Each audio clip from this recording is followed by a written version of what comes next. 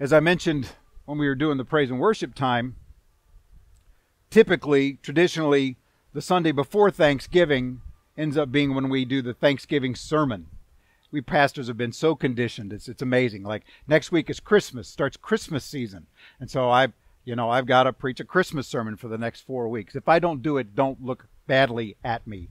I kind of go with what the Lord says. Last week, I, He wanted me to be in Galatians 6, 7 through 9 again, as I shared with you who were here last week. So it's like, thank you, Lord.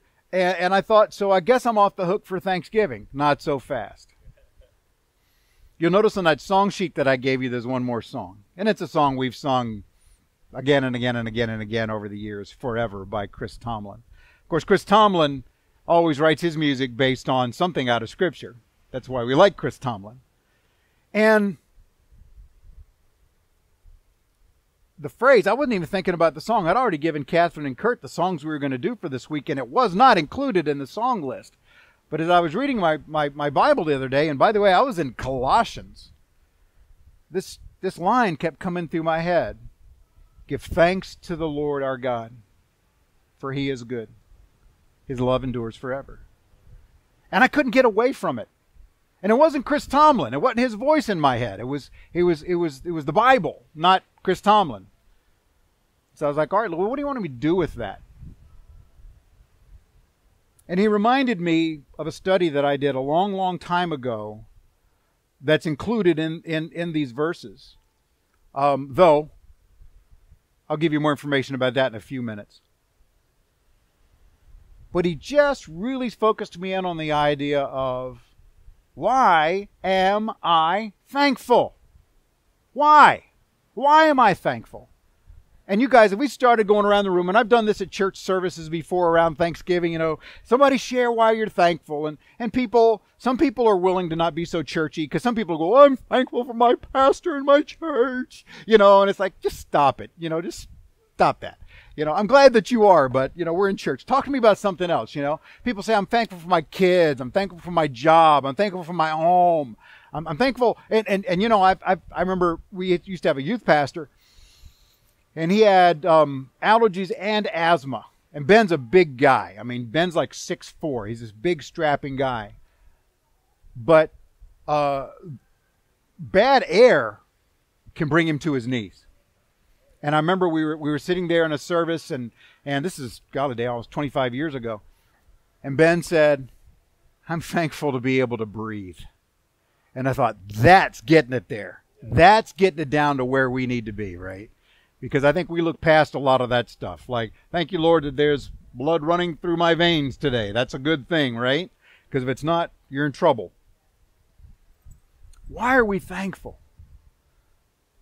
And I'm going to be honest with you. I'm thankful that Jesus Christ died on the cross and rose the third day and that He gave me an avenue to have a relationship with Him and with God the Father. I'm thankful for that. We wouldn't be here otherwise today. But I'm going to take you to a little more fundamental, foundational idea today. We're going to be in the 107th Psalm, Psalm 107. And I'm just really going to look at one verse. And me and the Lord went ran around about this. I kept trying to help him out on this, and he kept saying, "Just keep it simple, son. It's really going to work better today." And I was like, "All right, Lord, it's cool. It's good." And if God, with His brilliance, and God, with His power, and God, with His knowledge, says, "Keep it simple," let's keep it simple, right? All right, Amen. So don't go to sleep on me today. This is good stuff. It's simple, but it's not easy always. Here's what the psalmist writes. Oh, give thanks to the Lord, for he is good, for his mercy endures forever. There it is, right? I had that in my head the other day. Now, here's the thing I could have picked any number of verses that say this. If you go do a search in a words in a, um, a Bible software and you just put in give thanks to the Lord, there's a whole lot of verses that come up. And there's a number of them that say literally this exact same thing. Oh, give thanks to the Lord, for he is good, for his mercy endures forever. First Chronicles 16. Anybody know why somebody would be saying that in First Chronicles 16? When's the last time you hung out in First Chronicles 16? That's when the Israelites were bringing the Ark of the Covenant back to Jerusalem after it had been captured by the Philistines. And King David, which we did a sermon back in, I don't know, earlier this year, February, I think, about that uh, that event. So we're not going there again today. But um, part of David's song to God as they brought the ark back was, Oh, give thanks to the Lord, for he is good. His mercy endures forever. There's also several Psalms, not just 107, but 106, 118, and 136. And the last two actually have it twice in those Psalms. And so it's in a lot of different places. And so um, you can look what comes behind those verses, and you can see these psalmists, don't be insulted by the phrase I'm going to use here, bragging on God. We can brag on God, guys. Matter of fact, we should. Should brag on our God. But I want you to grab three ideas out of this verse very simply. Number one, we give thanks to the. Who do we give thanks to? Who? The Lord. the Lord. If you look in your Bible, and guys, some of this is going to be reruns, but I think the thing I've learned in ministry is about the time you get tired of saying it, people start hearing you. Right? I mean, that, that, that's honestly the truth. And you've discovered that. If you've had children, you know what I'm talking about. About the time you get tired of telling them, they finally start to hear you. All right? So don't feel like this is being insulting to you if you say, Pastor, this has got to be the 19th time you've said this. Capital L, capital O, capital R, capital D. Anybody know what that's our English translation for? Yahweh. Yahweh God. Y H W H. The the 25 cent theological phrase is the tetragrammaton. You will not be quizzed on this. But taking notes will be a good thing, as I said last week. YHWH.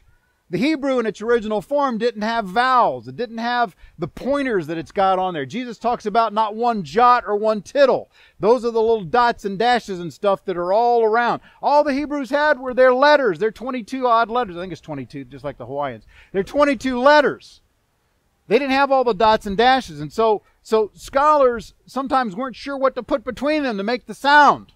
And Yahweh is that because the Jewish people wouldn't pronounce the name Yahweh. Even today, if you read a website, if you go to a website that's written by a Jewish person, they will write G dash D. They won't write God.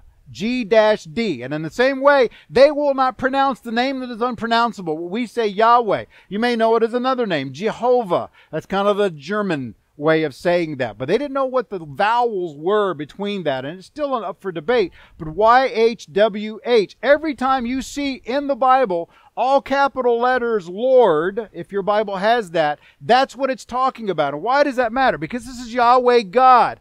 This is the God who appeared to Moses in the burning bush and he said, Who should I say is sending me to, to, to the to the Jewish people? And he says, I am. That's Yahweh. I am that I am. And so it talks about him in two phases. It talks about him from the standpoint that he has always been, he always will be. He was not created by anything, but He created everything. All powerful, almighty, all knowing, and all places at all times.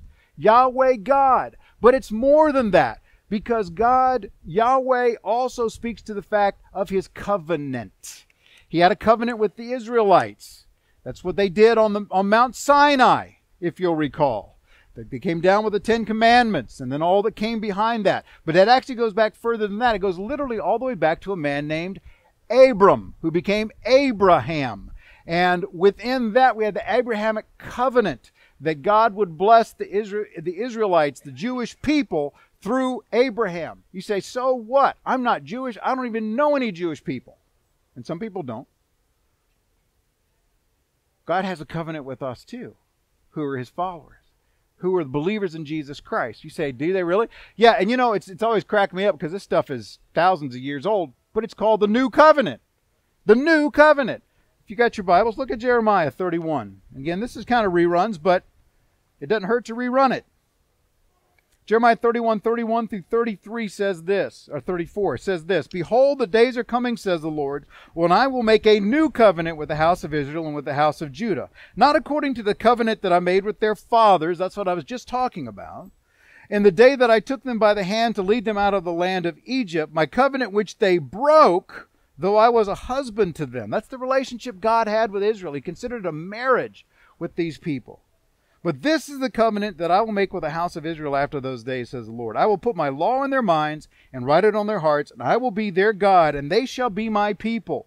No more shall every man teach his neighbor and every man his brother, saying, Know the Lord, for they all shall know me, from the least of them to the greatest of them, says the Lord. For I will forgive their iniquity, and their sin I will remember no more. This covenant came into effect with the death, burial, and resurrection of Jesus Christ. This covenant was sealed in the blood of Jesus. Because you say, well, wait, that's all about Israel. No, those of us who believe in Jesus Christ have been grafted in. This is about a covenant of belief, surrender to Jesus Christ. And so you and I who are here today that know Jesus Christ as our Savior and Lord are literally in a covenantal relationship with Yahweh God, the God of the universe, through Jesus Christ, his Son. All right? So when we see L O R D on all caps, that's speaking to the relationship we have with God Almighty, Yahweh God. You guys got that? So when we give thanks, we're giving thanks to one who we have a closer relationship with through his spirit than anyone we could ever have on this earth. You guys tracking with me on that? All right. So, knowing that, why do we give him thanks? And here we are. We see it. it, it he, he gives us two answers in this psalm. First off, for he's good. God is good. How many of you guys touch your kids and your grandkids? God is great. God is good. And we thank him for this food. You guys remember that one? Yeah. It's good theology. God is great. And God is good. You know, in the Hebrew, and I'm not going to get real pointy headed today. I, I was afraid I might, but the Lord showing you guys mercy about this today. The word good, which in the Hebrew is the word tov, that and five bucks will get you a coffee, is one of the more flexible words in Hebrew. And guys, Hebrew is one of those languages where everything's context. You can take any given, like a, a word, depending what's in front of back of it, it can change its meaning quite a bit. But I discovered this because I just wanted to make sure I was on the same page. The word good in English is a pretty purposeful word as well. I went on dictionary.com the other day and looked, and there are 49 definitions for the word good. And I'm going to read those to you now. No, I'm just kidding. no, no. You people don't don't let me get away with stuff, really. But here's what I want you to here's what I want you to really d- d- glean from this word good. Good good can be qualitative, right? You did good. Good can also be ethical. He was a good person, right? And I'm not talking about the way the world does that, right? Well, I'm going to heaven because I'm a good person. Failure. That's not true. There's only one good, correct?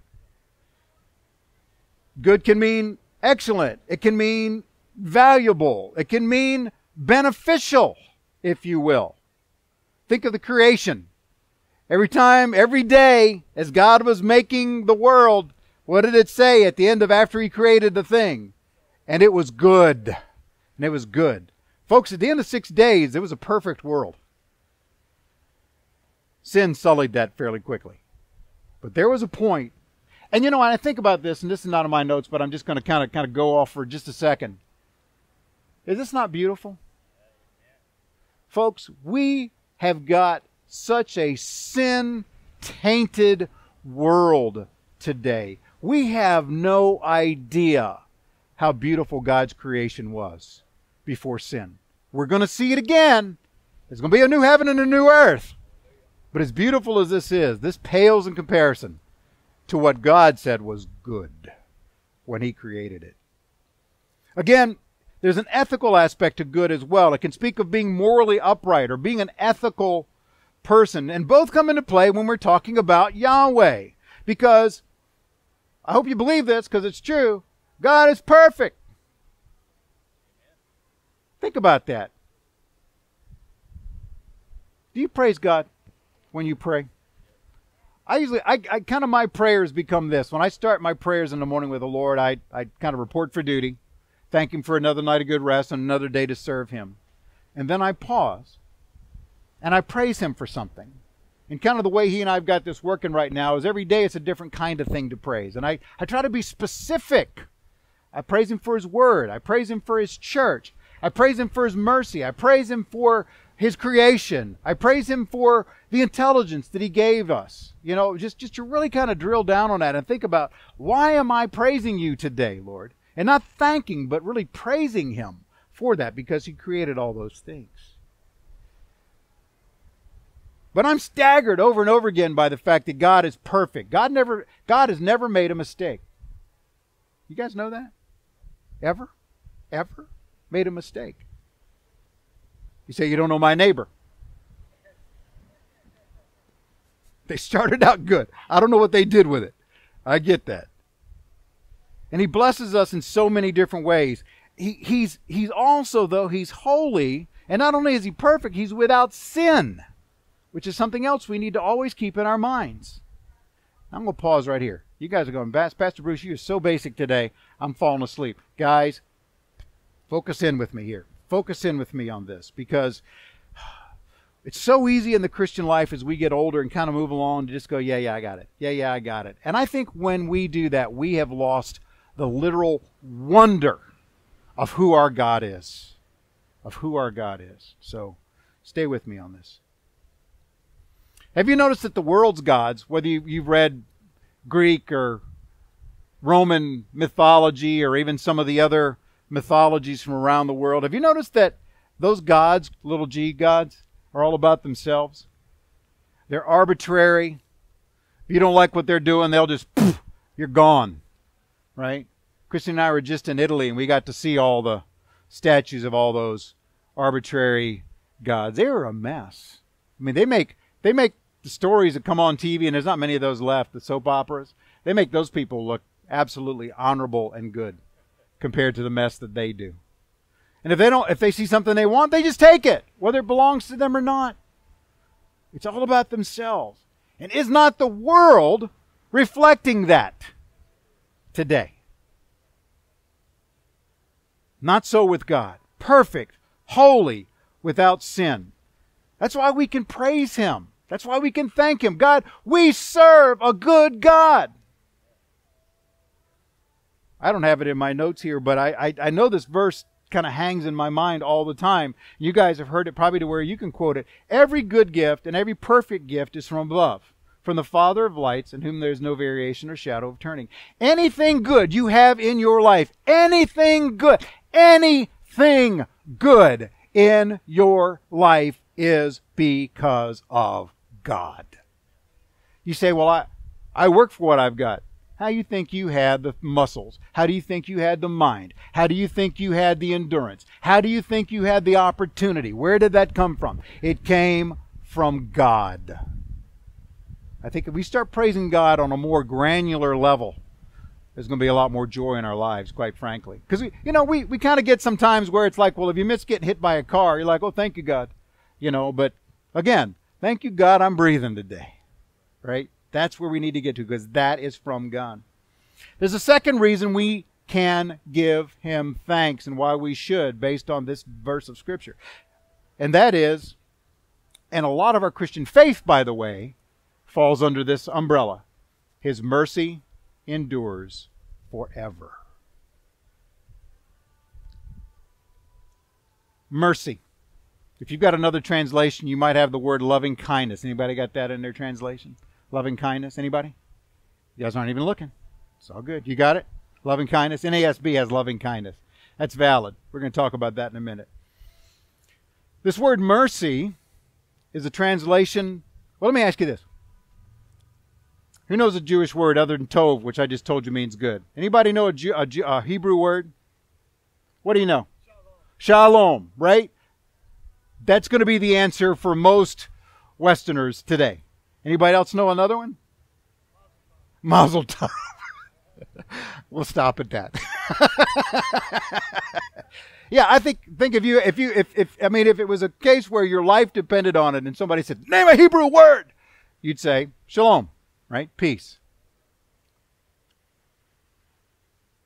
I want to give you, I think, what's maybe one of the most important words in the New in the Old Testament. It's in there 249 times. That is by by no means in the top 20, and I'm taking out you know prepositions and things like that and articles. But it, it's it's it's pretty high, but it's not nearly as high as a lot of other words. But it's in there 249 times. This word mercy is a translation of a Hebrew word chesed, which that you got that in the back of your throat, got chesed, which if you want to spell it, C H E S E D, and a little little caret over both e's, chesed. I I, I, was reminded by the Lord that I had to write a paper on Hesed when I was in seminary back in 2007. And so I've got that here and I'm going to read that paper to you now. It's only seven pages long. You guys ready for that?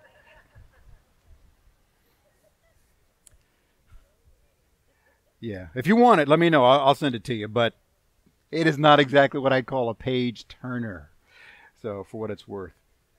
But that word is vitally important, and we should know it. I mean, 249 times, guys, you think that kind of matters to people? Now, some of those times it's used of man to man, right? Mercy, show me mercy. But more often than not, it shows up as man, God to man. And by the way, about half of the instances of this word are in the Psalms. Okay? So there's a praise element to that. We're praising God for his chesed. Now, mercy can go a couple of different ways. Probably a lot of you think of mercy as opposed to grace, right? Grace and mercy. All right, two sides of the same coin. Mercy is not getting what you deserve, right? You've done something, and someone says, Well, I'm not going to give you that that you deserve, that punishment that you deserve. While grace is receiving something that you don't deserve, all right? But do you guys realize that we would not be able to experience God's grace, amazing grace, the grace of Jesus dying for us, if God was not merciful? Because in order to experience the grace, you've got to experience the mercy that He didn't just pound you, smite you because of your sin. He, he foregoes. There's, there's this word we've seen a lot over the last two or three years in relation to landlords and tenants and rents and those sorts of things. It's the word forbearance. You guys heard that word, right? Forbearance. It's like we're not gonna we're not going to evict you. Even though we could, we're not because we understand the circumstance that you are in currently. That's forbearance. That's mercy in a very real sense. And God is forbearing. God would desire that none would perish, right? We know that from the New Testament. And so, but you think about it, we sing Amazing Grace and all those great songs about grace. We don't sing a lot of mercy songs, do we? We really don't. Because I don't think we as humans want to think about what we deserve. We'd really rather think about what's God going to give me. Am I the only one guilty of that? I mean, this is the time of year where we kind of confuse God with a guy in a red suit sometimes, right? He knows when you've been sleeping, he knows when you're awake. He knows when you've been bad or good, so be good for goodness sake. That's not the dude in the red suit. That's our Lord, right? So I, I think we, we, we tend to we tend to want to focus on grace because mercy means that we have done something deserving of punishment. It's a tension that we kind of got to get our arms around because on the one side, if you're a follower of Jesus Christ here, you're a sinner saved by grace, right? You're a sinner saved by grace. Yes, you are. Whether you like that or not, that's true. But at the same time, we're a royal priesthood. We're God's own special people. We're both of those things. In the very same way that mercy and grace work together to save us. So we need to kind of recognize that reality.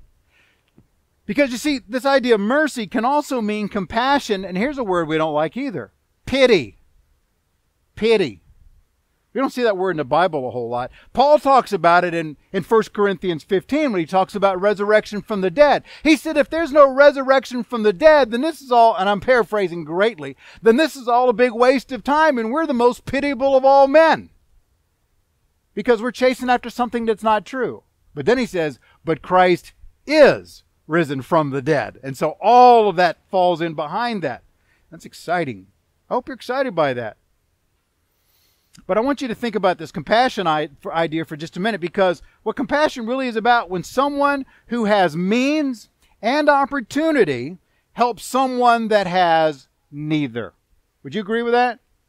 They've got means, in other words, they've got some resource, and they've got opportunity, which means they have the time and the energy to give to someone who has neither. Folks, that's salvation. That's salvation. Apart from the work of God in our lives, we'd all be destined for Satan's hell.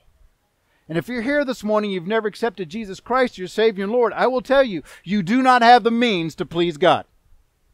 Nothing you'll ever do in this world will please a holy and righteous God because even your very best is filth compared to his goodness.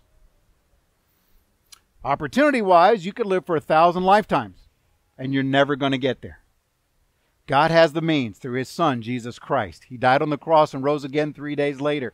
And that is the avenue and entry into his kingdom. That if you will confess to him the sin that he died on the cross for, Ask him to forgive you for that. And then proclaim him as your Savior and your Lord. Believe that he died and rose again the third day.